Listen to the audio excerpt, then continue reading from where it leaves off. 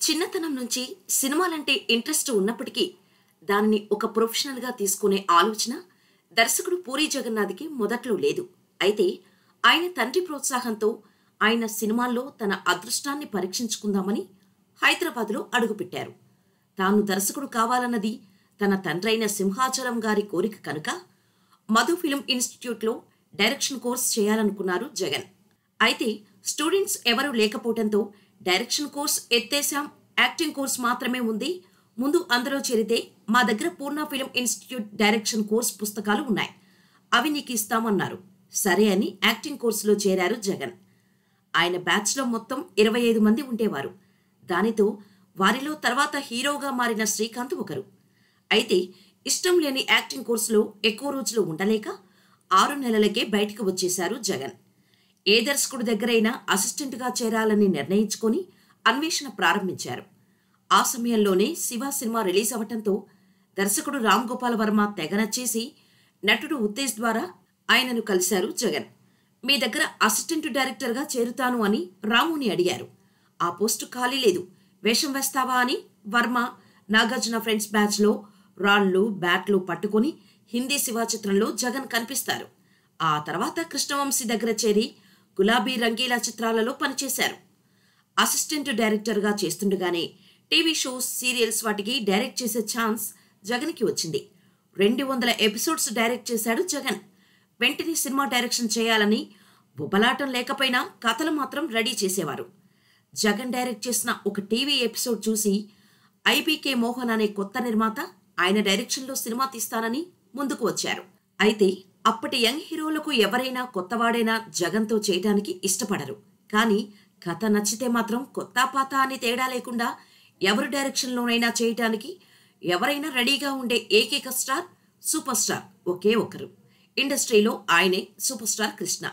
వాస్తవంగా చెప్పాలంటే ఐబీకే మోహన్ నటభూషణ శోభన్ బాబు అభిమాని అయినా సరే కృష్ణతో సినిమా అనగానే ఆయన కూడా అంగీకరించారు.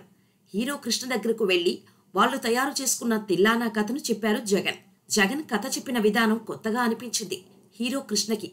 ప్రతిదీ క్షుణ్ణంగా వివరించి చెప్పడంతో కృష్ణ కన్విన్స్ అయి నటించడానికి అంగీకరించారు. అన్ని రకాల జనరేషన్స్కు చెందిన హీరో కృష్ణ. ఏ రకమైన పాత్రలో ఆయన నటించినా అంగీకరించి ఆదరించే అభిమానులు కృష్ణ సొంతం. అందుకే ఈ సినిమాలో కృష్ణకి ఫైట్స్ లేకుండా పూర్తి వినోదభరితంగా ఆయన పాత్రను తీర్చిదిద్దారు జగన్.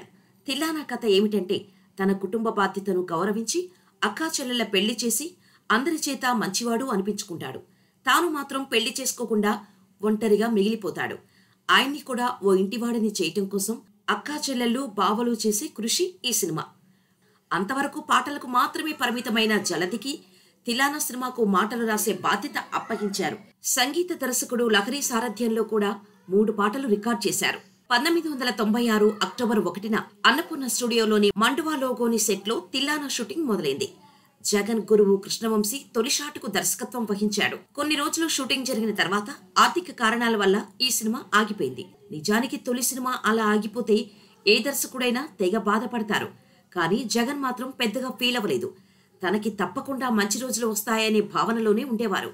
కొంతకాలం తర్వాత ఐబీకే మోహన్ ఆర్థిక వనరులు సమకూర్చుకుని మళ్ళీ జగన్ దగ్గరకు వచ్చారు. తిల్లానా షూటింగ్ మళ్ళీ మొదలైంది.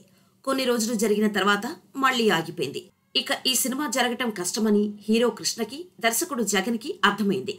అందుకే ఇక తిల్లానా గురించి ఆలోచించకుండా మరో మంచి కథ తయారు చేసుకుని పవన్ కళ్యాణ్ను కలిసి వినిపించారు జగన్. పవన్ కళ్యాణ్కు ఆ కథ నచ్చటంతో టి త్రివిక్రమరావుతో బద్రీ సినిమా మొదలైంది. తన పేరు కూడా పూరి జగన్నాథ్గా మార్చుకుని కొత్త జీవితాన్ని ప్రారంభించుకున్నారు జగన్.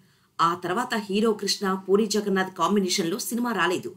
కానీ మహేష్ బాబు హీరోగా కృష్ణ సమర్పణలో జగన్నాథ్ దర్శకత్వంలో పోకిరి సినిమాను తీశారు. ఆ సినిమా ఎన్ని రికార్డులు సృష్టించిందో అందరికీ తెలిసిందే.